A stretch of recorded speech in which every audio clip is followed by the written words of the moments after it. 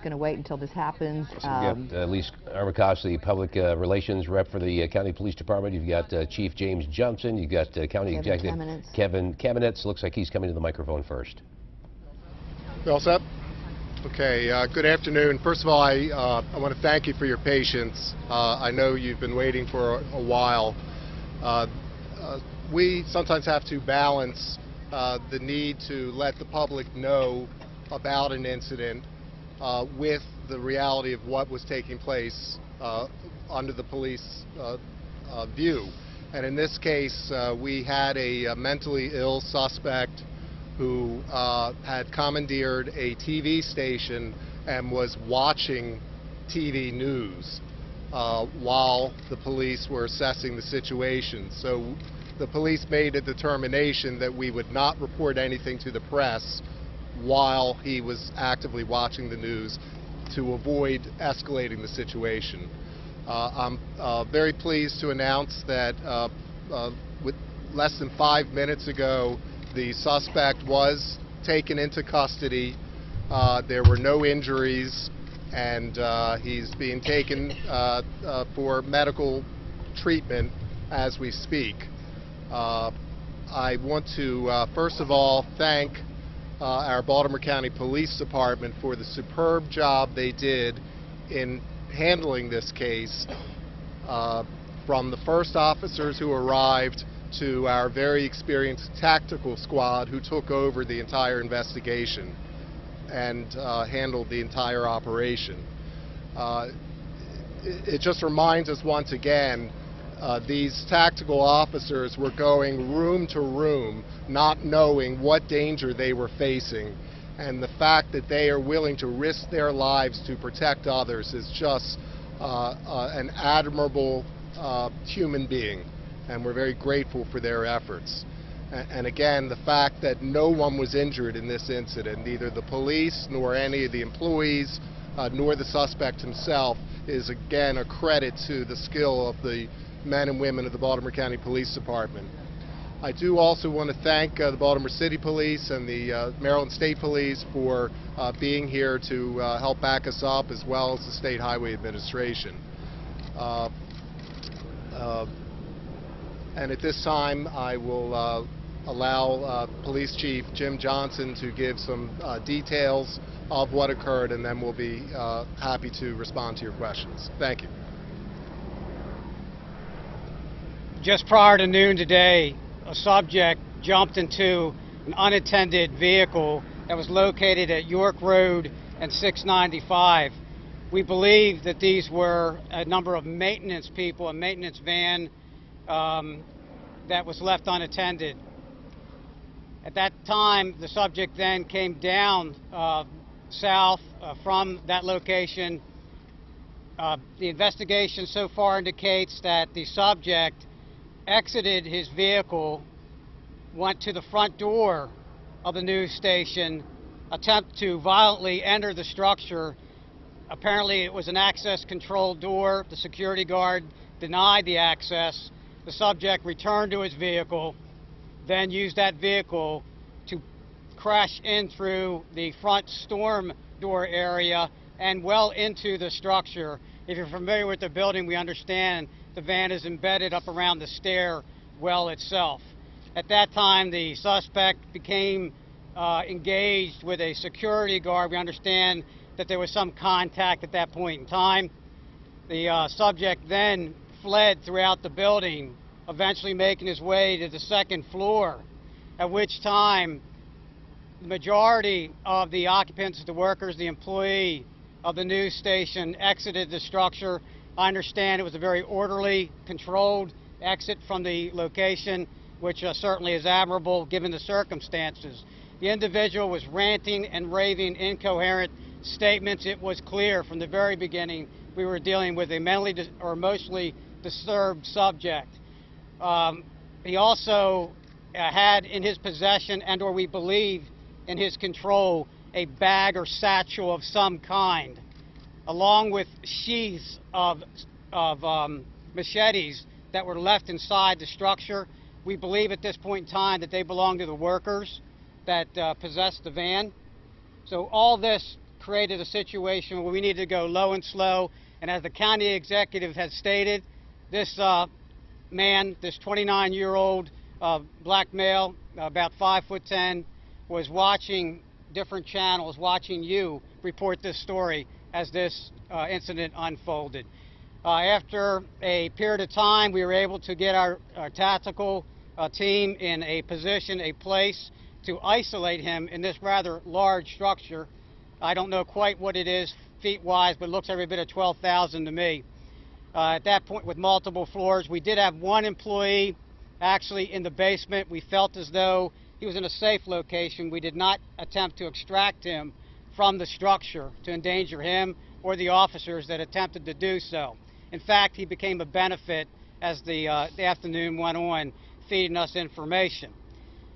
The subject was then located using technology on the second floor of the building, at which time we closed in further, isolated him, and you may have heard we used other technology to alert him and breach the door of the structure that he had barricaded himself in. And at this time, I'm going to say the arrest was without incident. Um, I understand we had to use a canine dog as well. No officers injured. The subject's in custody, and he'll be taken uh, for further evaluation and eventually criminal charges. Did he have any weapon on him at all, Okay, I'm going to stop at, at this point, and then we'll take questions in a moment.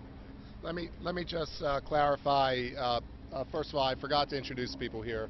Uh, Police Chief Jim Johnson, uh, Colonel Pete Evans, and I'm County Executive Kevin Kamenetz. I also want to compliment the employees at WMAR who quickly, uh, except for that one employee, uh, the employees were able to quickly evacuate in an orderly fashion. And I also wish to compliment St. Pius School, uh, which also quickly went into a lockdown mode and then evacuated all of the children safely. Uh, both sets of employees handled the situation superbly, and we, we do appreciate uh, the, uh, the manner in which they did that. Uh, do you have anything else to add, Chief? Any, uh, Colonel? Okay. Why don't we go ahead first question? Do question? you have a name? I'm sorry, did you, was he armed in any way? At the time of the takedown, we understand he had a golf club, which he may have acquired somewhere in the structure. We don't know yet.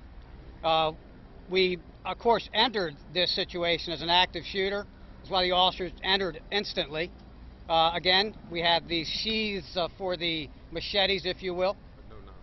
but we have no information at this moment in time. We tried to get this to you as quickly as possible that he actually had a weapon other than, which is a weapon, a golf club. Was it an iron or wood? I do not know, sir. What's, Do you have a name? What room he was in, Chief? What Okay, I'm gonna I'm gonna take another question. Good. What room was he in? Was on the second floor? Was it in the studio or anything? I understand it was the second floor in an editing room. Do you have a What name of the suspect? sir? Do you have any motive? We have no name for the subject. We have no motive at this point in time. How did he obtain the vehicle? Do we know that? It was an unattended vehicle lo- located at the, that, at York Road and 695 with workers doing their job around the vehicle. And the keys were in the vehicle? I do not know yet. Were there weapons in the truck that were in the lobby? there were working tools in the truck that could be used as weapons. But not firearms? We have no information that firearms were involved in this incident. Chief, You said the security uh, guard at the beginning engaged in some way with this person. Was that security guard male or female, and what kind of engagement was? Um, we understand that there was contact and engagement. We do not know at this moment in time the extent of that contact. We do not know whether or not it was a male or female. Chief, do you know? Why don't we go to Jamie here? Chief, did he know it was a TV station that was attacked? Uh, Jamie, I don't think at this time we, ha- we haven't had an opportunity to sit with him and discuss uh, what led him to your particular location. How'd you know he was watching TV? We could view him watching TV. What technology is Cameras? We could view him watching TV. Was he, is he responsible for anything else throughout the day? An accident? No, no, that's an unrelated incident that came out during this time period. We believe that is the incident, the theft of the vehicle, that he's responsible for. And Sir, how do you know he's 29 years old and you don't know? Um, we have an estimate, uh, an estimate of his age um, and his physical description given to us by the several that saw him take the vehicle. And I want to again reinforce that the subject didn't leave this TV station location throughout the incident. There was no danger to the greater community. We had both officers inside the structure within minutes, an inner perimeter, an outer perimeter, and quite a sealed off area. There was no danger to the surrounding community. Okay, I'm gonna take a question over here. No, uh, again, I, I, it's, it's very clear that the subject is suffering from emotional and mental health issues. That's very clear. Do you have any knowledge of any communication with anyone outside the building? Do you have a cell phone on or anything like that? We had no information to believe he was communicating with other individuals. There was no chance that you negotiated with him. You didn't have conversations with him. We always tactfully attempt, when we can, to discuss, to talk, and progressively move through this circumstance. Yes, ma'am. What did the dog do? The canine dogs are always a part of our tool bag, and when we think there's an appropriate place or use for them, we will. But did he actually go in and help you arrest him? The dogs accompany, we use other technology and tools as well. Again, you may have heard some of the devices we use today. I'm not going to discuss that, but uh, it came to a closure. Yes, ma'am? As soon as you finish asking us questions. And any, the people can return to the building? Well, I, I think that's going to be up to, first of all, the crime scene investigators, the officials from Channel 2 News. Uh, but uh, I believe in short order that will happen. And the school function tomorrow as normal? I- Yes. Chief, do you Yeah. have any idea at this time whether the suspect was moving about the building after the crash through, or if he just made it up to that second floor and kind of stayed there? Um, I think further investigation is going to establish his movements in the structure, but I believe, based on our information, that he almost immediately went from that ground floor around the stairwell up to the second floor. Chief, based on what you know about what our security guard did and other employees at ABC2 News, what do you have to say to them, how they handled this situation? Um, first of all, I'm going to let the county executive speak as well, but I commend the uh, employees, the officials of Channel 2 News. Uh, certainly, they acted professionally and bravely under some very difficult circumstances. Uh, certainly, the work of the security officer at this moment in time, we believe, is commendable. Chief, have you ever experienced anything like this before? Have you ever seen an like this before? Uh, I I think the structure is unique, uh, but you know certainly the incident itself, the invasion of a structure, uh, is not uh, un- unheard of. But uh, again, I, I, again, a TV station, um, it, it certainly in an area like this where it's affected, obviously transportation, traffic, commerce in the community, and the lives of our great citizens. That's very significant.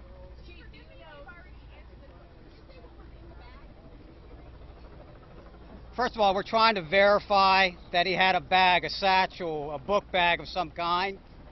Uh, at this moment, while I'm talking to you, I don't, we don't know what was inside that uh, that carry. Now, was that satchel his or was that satchel belong to the person who took it?